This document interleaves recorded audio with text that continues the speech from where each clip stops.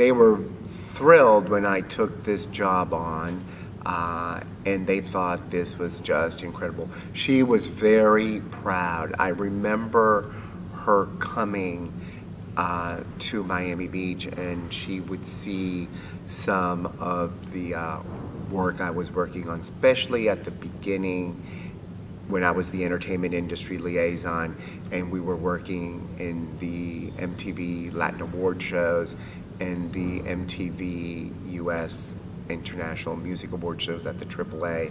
So she would see pictures of me in different magazines or, or stories in the paper and she would be very proud and, and she would do clippings of them and, and keep them like a book that she would keep on information on me.